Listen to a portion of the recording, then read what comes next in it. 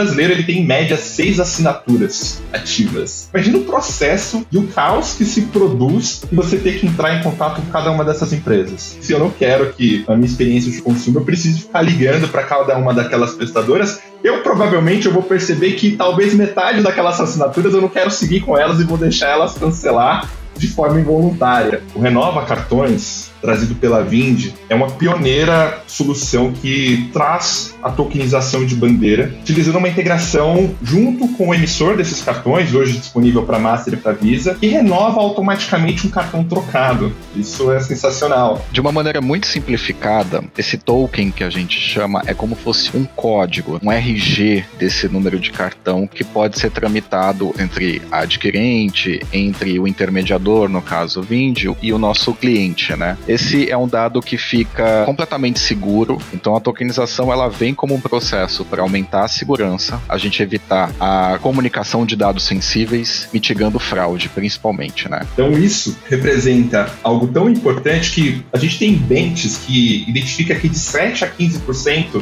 das transações rejeitadas de uma empresa são rejeitadas por motivos de cartões vencidos, trocados e expirados. Ou seja, uma solução permite identificar aquele cartão teve um novo plástico emitido sem a necessidade do portador entrar em contato com a empresa, isso é ótimo.